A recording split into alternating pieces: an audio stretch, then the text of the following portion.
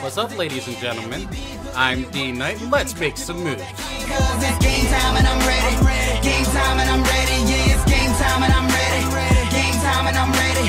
Can't stop my hustle. No, you can't stop my shine. I ain't come to make no friends. I just came to get what's mine. Welcome back to the Barons franchise, everybody, where we are starting in the off season of season two. So we had a very successful season, but we ended up getting run out of town by the Philadelphia 76ers as they swept us in the Eastern Conference Finals. What are we going to do for an encore? I mean, this team is only in its second year of existence, and we've already made the Eastern Conference Finals. Very, very interesting. It's going to be very, very tough to continue this success for sure because now, if we want to progress, we have to get to the NBA Finals, which is going to be very tough. Now, me and Coach Doe, we had a nice conversation about what we need to be doing over this offseason. It's going to be pretty tough. Adams is no longer a Baron currently as his contract is up. So it's going to be a little bit tough to re sign him. Bridges, Monk, they're pretty much gone. We've also added Van Vleet and Looney to our trading block. See if we get any interest, but I think with our possibility of moving Kabengele to center and Jalen Smith over to power forward, I think Looney is expendable whether we re-sign Adams or not, because I do like Dane Tiggs as our center, our second center, really. So I think that is a good idea. But we also have to resign him. We have to resign Baylor. If we want Williamson, we have to resign him because we actually signed them to only one year deals last year. And all of them kind of contributed and produced. You know, now Hal is going to be our backup point guard because he played very, very well. So we'll, we'll have to see exactly what happens. We have a lot of really moves to kind of make and decisions to make, and it's going to be pretty tough. So let's take a look at the player retirement so far. So Vince Carter is finally done at the age of 44. Zach Randolph, Pau Gasol, Kyle Korver, Trevor Ariza, J.R. Smith, Nene, Livingston, Belinelli. Come on, cross your fingers. Cross your fingers for Ben Simmons to retire this year. I don't think it's going to happen. Shame. and then a couple guys down here at the bottom. Okay, so nothing too crazy there. Let's continue to move on. Staff retirements. So the only staff retirement is Bob Weiss, who was an assistant coach, but he actually was not on a team at all. Okay, Hall of Fame inductees, what do we got? Vince Carter. All right, he's going to be a Hall of Famer. I mean, rightfully so. The guy did play in three generations, so good for him. League meetings, what do we have? Okay, changed shot clock to 35. Everybody said no. Rookie wage scale, rejected. And opposing teams will enter the bonus, rejected. Change the number of fouls, rejected. And change the time on offense is given. Uh, yeah. Oh, those were terrible. So glad we got past that. League uh, realignment, well, there if you guys want to see exactly where we are. Obviously, the Atlantic with those 76ers. We could move people around. We could add teams if we wanted to. I don't think this year we are going to do it, so let's just keep on moving on. So draft lottery time. Let's see who ends up with the first pick. So it looks like the San Antonio Spurs will have the top pick with Trailblazers being second, the Kings third, Pacers fourth, Thunder are fifth, Pelicans six, and then the Pelicans have another one at seven. Hornets eight, Supersonics ninth, and tenth for the Suns. We are going to be picking 31st. Not a good spot. Kind of think that we're going to be going either small forward or power forward, just to kind of look for some bench guys. But I haven't necessarily found any that have stood out. And the ones that have stood out are mock draft before us. So we're not, we might not be able to get them. This draft might be a little bit boring. So now we head into the staff signing period. Now, Coach Doe, you're going to be happy. Our trainer was only signed for a year if we even had him. But our CFO is also gone currently, so we're going to have to pony up and pretty much pay somebody there. But I think trainer is going to be our top one here. Let's see who we have available. We have Sean Navarro, whose training is A, potential is C, but nobody else really that stands off the mark. Yeah, Rush could get better, but I think we got to go after this top guy here. And he's got nine offers, so might be a little bit tough, but I mean, let's put a four year. Let's bump it up pretty good here. I know I'm probably overpaying, but I told that I told Coach Doe that we would go heavy after a trainer because he thinks that is the most important. So we're going to make a four-year, $350,000 offer to Sean Navarro, and he will let us know. I think we will kind of wait for his decision before we offer somebody else because really, I mean, we got him and if we don't go with him, Howard will probably be off the board. And then we could possibly look at possibly Ryan Keefe. Yeah, he's a B minus, but that potential makes him just a little bit better. So I don't mind that. And then CFO wise, nobody's really going out. Our CFO was not very good at all. Let's see, where is he at exactly? There he is. Ronnie Freeman, C plus, C plus. So we're actually going to go for the top guy here, who has, oh, 11. Did I not see that guy? Okay. So he does have 11 offers. Mm, you know what? Go all in. This is what we need to do. Bump his salary up a little bit. His interest is pretty high, so let's do that. And let's advance a couple days and see if we can get somebody. So both of our guys actually did sign. Jason Taylor at four year, 4.8 million is going to be joining us on the business aspect, which is great. And then we got the best trainer he wanted to come to, Baltimore. I love it. Four year, 1.4 million. Good training there. A training, C potential is a little bit scary, but we can continue to move on throughout the off season. Now that we're on the final day, I did kind of want to go over some of our coaching staff, which right now I don't think we need to be going away from whatsoever. I mean, Owen Masters as the assistant GM is pretty solid at ABC. Mylan Mack, maybe not the greatest, but I mean, he's led us to the Eastern Conference Finals. We can't get rid of him. I mean, second year, he's already done that. Same thing with Michael Odom here. Maybe in two years, maybe we start falling behind a little bit and we're going to have to make a move. And then our head scout is actually not too bad as well with some B pluses. So our coaching staff, we're going to be keeping around for a little bit because they are pretty good. Well, not in the ratings, but at least the basketball on the court. And maybe it's all me, the GM. Probably not, but they're at least leading us to progressive heights and made us get to the Eastern Conference Finals. Yeah, I think we're fine with that. And now we have a couple of scoutings and draft combines, pre-draft workouts. So we're going to cut this out, but I will see you guys when we get to the NBA draft. So now it is time to enter the NBA draft. Remember, we have some late round picks here, but I think we are going to be good enough to at least get a good bench power forward or even small forward.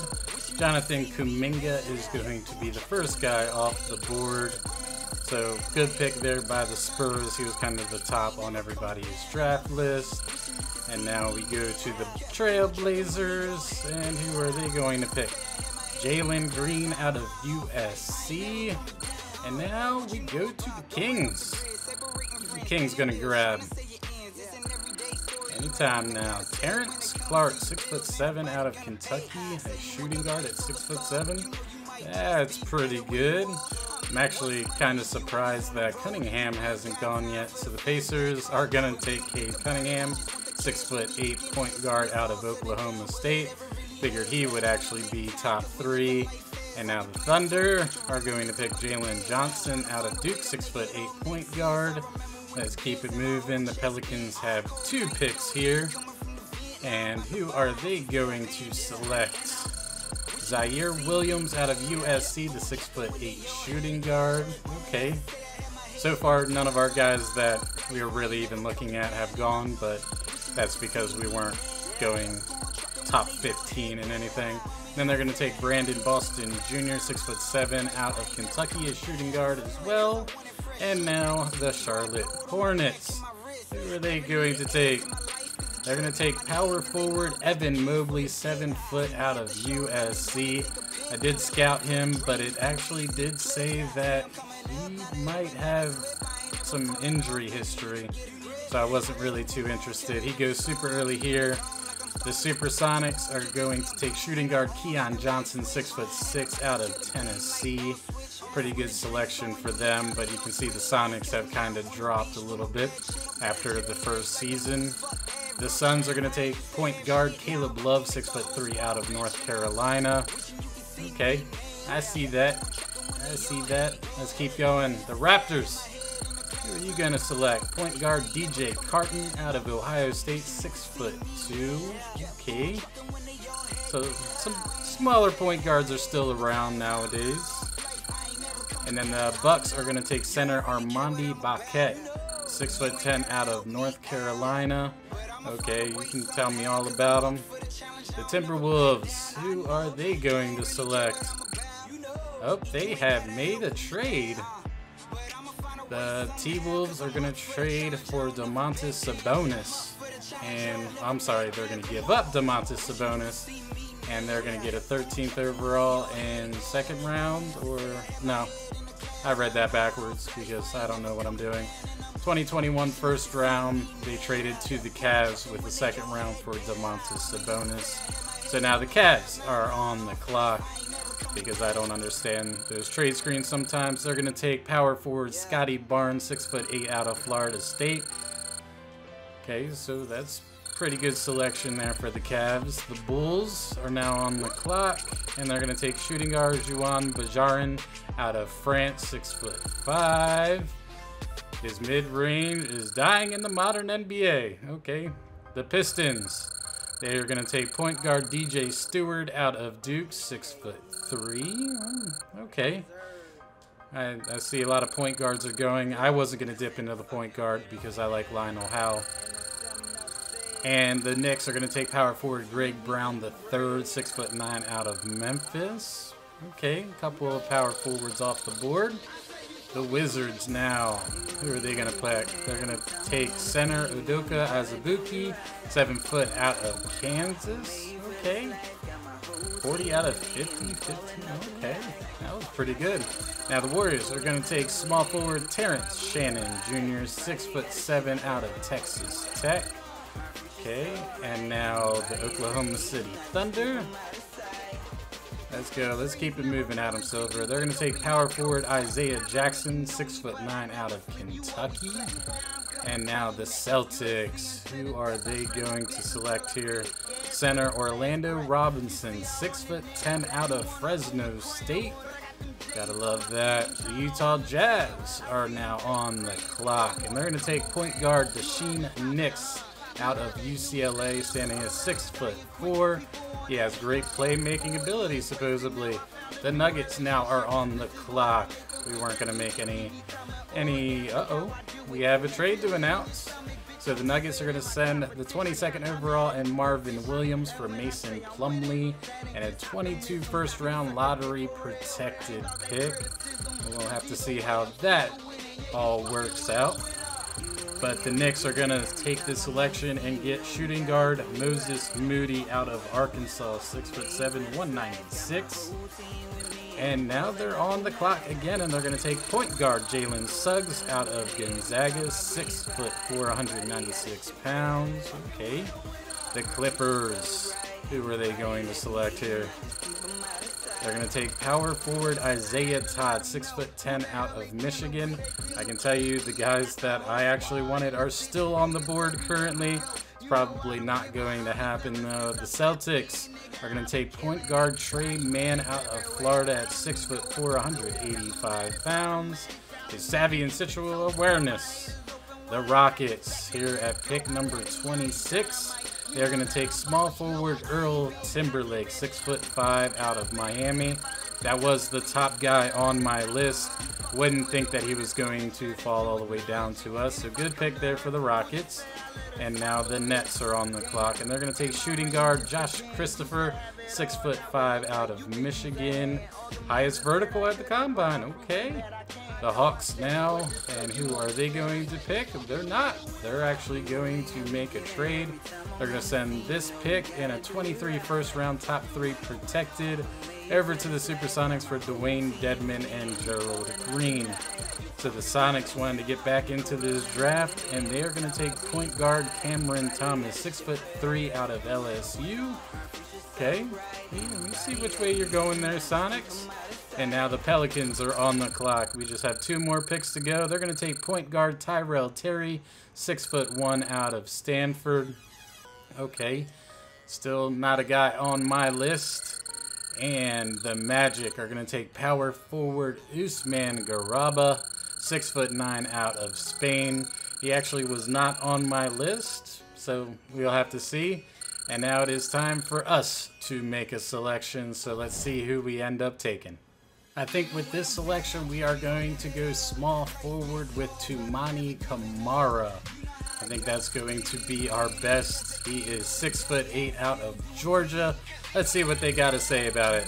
Five-star All-American recruit coming out of high school, Camara overcame the injuries that delayed the start of his freshman season. Fully recovered and showing growth every game, he is ready to go. That's what I'm talking about. I was kind of looking at our other guy, Sibley, but I think I can get him in the second round, so we'll keep on going. The 76ers are going to take Jaden Springer, and we are going to fast travel all the way to our next pick here in the second round. Now we head into our pick. Our power forwards were actually taken there in the middle second round. So we're really going to have to really figure out who we are going to take at this current moment. So I'll be right back with you after I make a decision. I think with this decision, we are actually going to go small forward CJ Walker, who can also play in that power forward spot. But 70 overall with C offense and D plus defense out of Oregon. Think this could be a very good pick for us. So that is going to be our selection. Let's see what they got to say. Yeah, we know we picked CJ Walker. Thanks. CJ Walker showed his range at the draft combine by making more college threes than any other small forward. So there you go. And the 76ers are going to end up taking Matthew Hurt, who was the other guy that I was planning on taking. It was either up between him and then CJ Walker, so I'm going to have to see how good this guy actually is. Thank you, Mark Tatum, for concluding the 2021 NBA draft. So taking a look at Matthew Hurt here, he actually was a 71 overall with C plus offense, D on defense, laid back personality. So he wouldn't have been a bad selection either, but between him and our boy CJ Walker, not a lot of differences except for CJ Walker was draining threes all day at all of the workouts. So we filled up our bench in the draft. Now we're going to go to the rookie signing and we're definitely going to sign Toumani Camara. I really liked what he was all about. I wanted to see if the 76ers are going to sign Matthew Hurt because I wouldn't mind actually adding him, seeing what he has. And okay, they declined him, so we might end up grabbing him and doing a little bit of a fight for our number two power forward position. I should probably sign CJ Walker though, because that's what we're going to do. And now it is team and player options and actually see what kind of cap room we do have. I am going to bring back Shai Gilgeous-Alexander. Bridges, I don't think so. Cabby, yes. How we are going to take as well. Uh, Hezonja, we're going to just kind of let go, and Mikal Bridges as well, even though they're pretty good bench players, but you know, we need to go young to try to free up a little bit of cap space so we can make a good splash here in the off season. That's what I'm thinking. So Paul George is actually going to be a free agent. Interesting. He could be a shooting guard that maybe we look into. Granted, he's 31, but wonder how much money. But Doncic, Trae Young, Ayton are all accepting. Anybody that's crazy declining at all? Okay, Julius Randle, power forward center, probably not. Josh Richardson, eh, probably not. But if we can make a pretty good splash with somebody else, Mikal Bridges, we already know we didn't want. I mean, granted he had a broken leg and everything, but again, we want to we want to open up as much as we possibly can to head into free agency this year. So now it is qualifying time. We are going to extend a qualifying offer to Dane Tiggs, one year, 1.5. That's pretty pretty high. Williamson, hmm, I don't know. I don't know about him. I don't think we are going to extend one for him. Guess we could really just not extend it and sign them to cheaper deals. Malik Monk, no. No, Malik Monk is gone. Baylor, Tiggs, yeah, you're coming back. I think with uh, with those years, I, I think we need to need to sign it so we don't lose them because they could possibly be our little bit of our future there. And now moratorium. So let's see who we have ready to go and see what kind of offers we can kind of put out there and hopefully we can get somebody signed up before free agency starts. So we do have some big names at the top and two of them are actually unrestricted free agents which is the Greek Freak. Could you imagine if we were able to get a job or a deal done with the Greek Freak? That would be insane. He is looking for about 44 mil a year, which is roughly the hold currently by Steven Adams. So maybe we have an opportunity. We might have to make some deals to end up making it fit. But really, the question is then what do we do? Do we start him at small forward and then move Porter to power forward? Do we start him at power forward? Does Cabby stay at center? Does Jalen Smith end up being our power forward number two? This could bring up a whole bunch of questions, but really it's shooting guard that is going to be the issue because of AC Baylor. I don't think he's quite ready to start, but I think we need to act, at least go after the Greek Freak. If we can get him, that would change the whole aspect. Then we will have somebody that maybe we can even match up on Ben Simmons, even though it'd be a way different position change. But maybe something that we can do to kind of shut down Ben Simmons a little bit. Or we could go Paul George, who could be a shooting guard as well. And I mean, nothing too bad there. He's actually expecting more money than the Greek Freak. So, not sure if that's going to be. I see Gobert down here is unrestricted. Donovan Mitchell would be a nice piece, but he is restricted. So, more than likely, the Jazz are just going to sweep down underneath. Tatum is restricted. Collins, De'Aaron Fox. Nobody wants Oladipo, huh? At 35 mil. Interesting.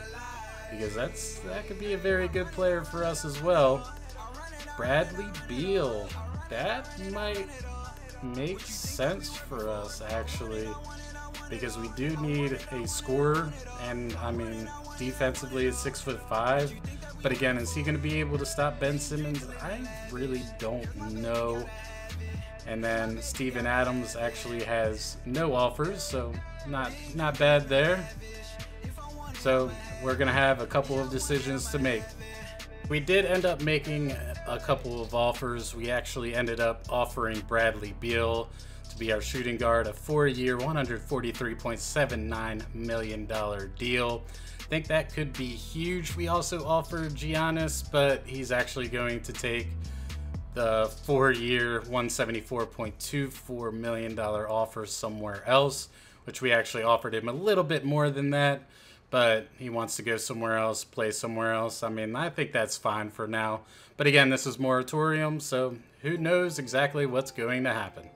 So in day two of the moratorium, we actually offered Steven Adams, since we weren't able to grab Giannis, a three-year, $62.37 million deal, which is roughly around 20 to 21 mil per year.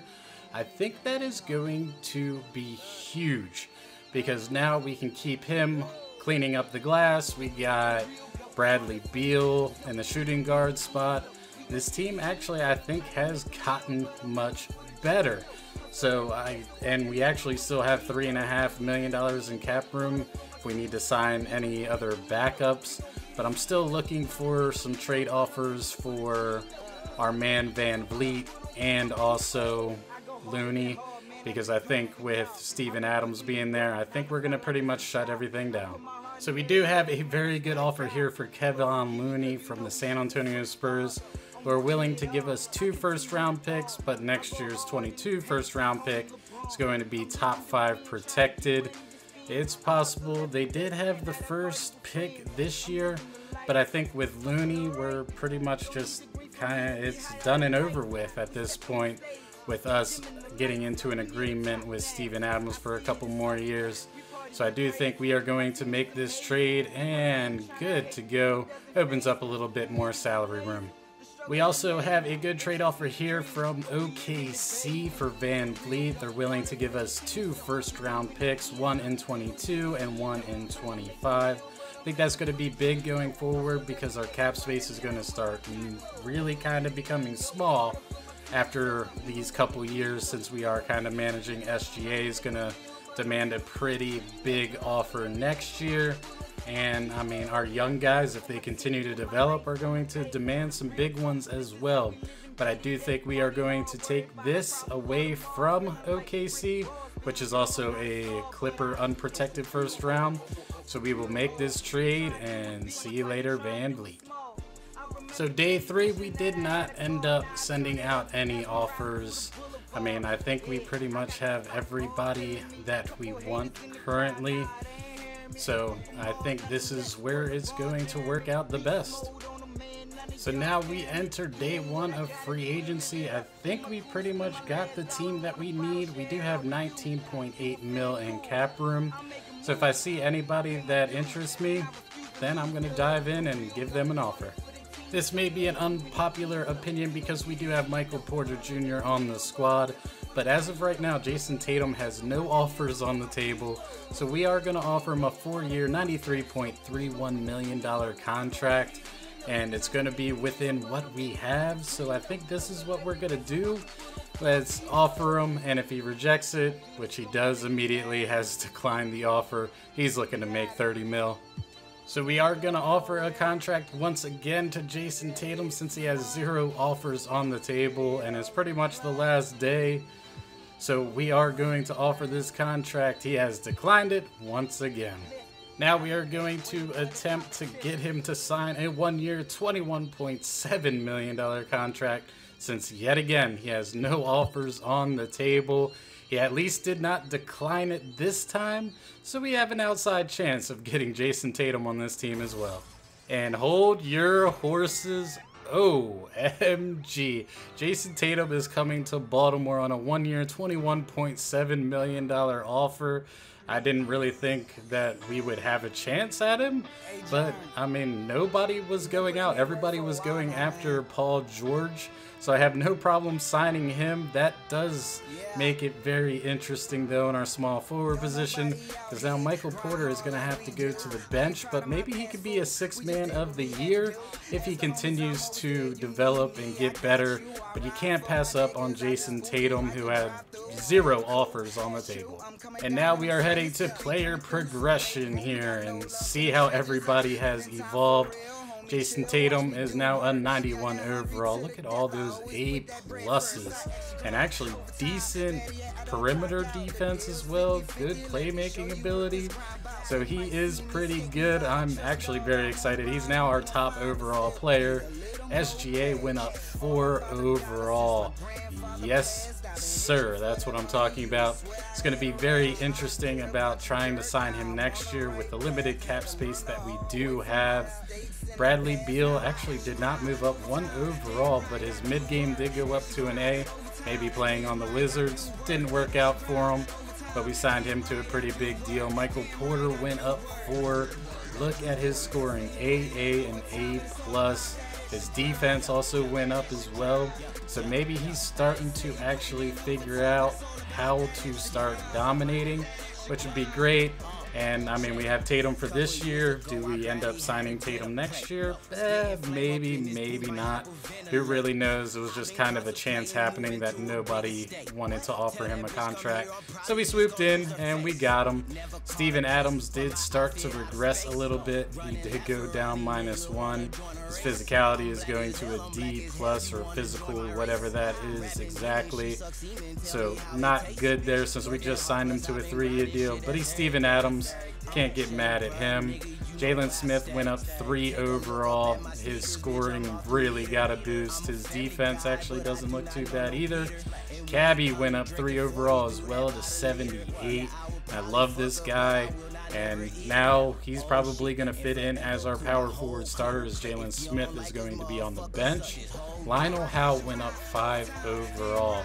He played great in that Sixers series. Very excited to see what he has. I am a little bit concerned about that 5'11 frame, but maybe he comes in and is a real good bench point guard for us. Toumani Camara, we already know is a 70 overall. CJ Walker is a 70 overall as well. So now that I think about it, I did not see AC Baylor or Dane Tiggs on there. I might have actually messed up a little bit because now we don't have that option. Maybe I can get them in free agency on some minimum contracts and a mid-level exemption, hopefully. But it's NBA Summer League time. Let's see where we end up finishing here. Alright, so the Summer League tournament bracket. You can see the tiny little emblems. Go ahead, zoom that in there for me. We were actually 18. Not great at all, but we probably really don't have anybody that is really playing. Oh, we ended up beating Denver. Okay, fair enough. But we lost to... No, we beat Atlanta as well. I have no idea who Joe Nobody is. No idea. And actually, we ended up getting to the finals, or not the finals, the, what is that? The, can't see, the semifinals. We didn't make it to the tournament finals. The Wizards actually ended up beating us, so 18th seed, whatever, doesn't mean anything. But we still can't win anything. That's just the way that it is. And now it looks like we head to the All-Star City selection, which is going to be San Francisco. Okay, good for them. And now we are, we're just auto-generating the rookies this year. And the 2K Hoop Summit, we're gonna sim through this game. Do want to see the box score though. What we have here. Towns was an absolute stud. How is this guy looking? Donnell Towns, small forward shooting guard, B plus, draft rank 15th. I mean, hopefully we're not that far behind. And then we also got Roberto Gonzalez, who's a B plus in six, so he's one of the top prospects there. Okay, and now we go to training camps. So we do have three available training camps, which is great. Untapped potential all the time. And I mean, as you see, Tatum and Beal, they're A pluses. Oh, that's not their potential. Their potential's over here. A plus, A, A, A plus, A minus, A. Kabengele's A minus. I do think that we do want to work on Howell. Get him up a little bit there, so he will go up to a B plus. So that is beautiful. And what else we have here? And I think Camara, let's get him up get him up to, oh, wow. Okay, he's now at A minus. Did I read that wrong? Did I not go far enough over? No, it says B. What, what in the world just happened? Okay, well, we're going to give Camara one more untapped. He already attended that camp, so Hal did as well. Uh, do we go after Cabby to get him up a little bit more, or do we work on CJ Walker? Hmm, no, I think I want to go with Kabengele, our boy. Okay, before B plus, after A minus, but he was already A minus game. Okay, you're messing with my mind. And now we have to advance to the next season, which we will continuously do here. I do want to see if AC Baylor is available, and also Dane Tiggs. Before starting the season, all teams must have 14 players ready. So we have to sign a free agent to the minimum of 960. So, do you want to have players sign for all teams with incomplete rosters? No. I want to sign for me because I don't think I'm at 14. Let me see if I can get this figured out. Alright guys, so I ended up checking the footage and I made a mistake. Well, actually, I didn't make a mistake, but the AI actually renounced the rights on Baylor and Tiggs, so that's why we had just a little bit more money to go after Tatum. I wouldn't have signed Tatum a little bit more if I knew that they their rights were going to be renounced. But it is what it is. I do believe that we are going to get Baylor and Tiggs back next season. So I'm thinking of some storylines. So if you guys have any suggestions, put them in the comments below. Some sort of out for the season kind of storyline, I think, is what we're going to do because they're not being picked up by any teams. And I doubt that they will actually be picked up by any teams. But we are going to get them on the team again next year.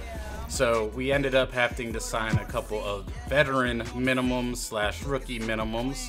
So we ended up signing Tariq Phillip here, who actually played for the Memphis Hustle. He's 28 years old, shooting guard, 67 overall. But we got him. We got Johnny Buford, the undrafted free agent out of St. Louis. Then we also got Vince Myers, the undrafted center out of Oklahoma State at 66 overall.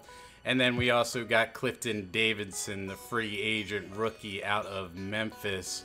So that is going to fill out our roster. It's going to be very interesting for us. We're probably going to have a lot of crazy lineups and shifts and things like that. But I'll get it all worked out and we'll continue to win. But that's all we have time for today. So thank you so much for watching. And as always, stay frosty and I'll see you in the next episode. D. Knight out. They thought it was a game till I came back with that win overtime. I've been now we finished what you thought that was the end, man. We